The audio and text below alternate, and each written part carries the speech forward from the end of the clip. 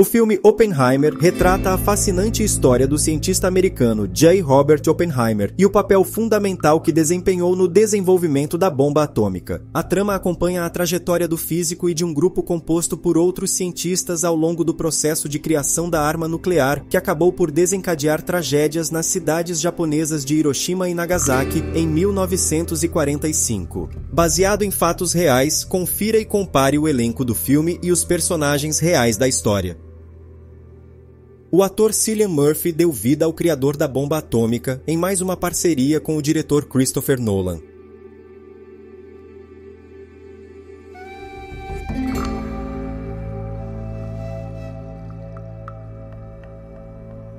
Emily Blunt deu vida a Catherine Oppenheimer, uma bióloga e botânica que se casou com J. Robert Oppenheimer,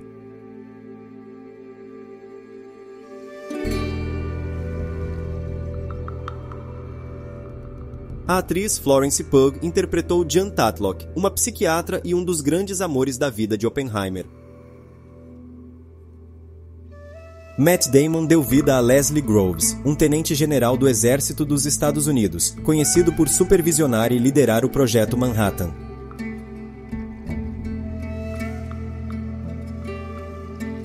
O físico David Hill foi um dos companheiros de Oppenheimer no laboratório de Los Alamos, onde foi realizado o projeto Manhattan. No filme, ele foi interpretado pelo ator Rami Malek. O físico Albert Einstein, dono de uma das mais brilhantes mentes da história, foi interpretado por Tom Conte. O físico Edward Teller, pai da bomba de hidrogênio, foi interpretado por Benny Safdie. O físico Kenneth Bainbridge, que fazia parte do projeto Manhattan, foi interpretado por Josh Peck. O físico nuclear Ernest Lawrence, vencedor do Prêmio Nobel e amigo próximo de Oppenheimer, foi interpretado por Josh Hartnett.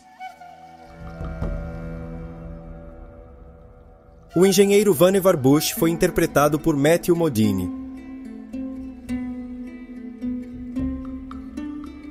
O físico norte-americano vencedor do Prêmio Nobel Richard Feynman foi vivido por Jack Quaid. Louis Strauss serviu como presidente da Comissão de Energia Atômica e foi uma figura importante no desenvolvimento de armas nucleares. No filme, ele foi interpretado por Robert Downey Jr.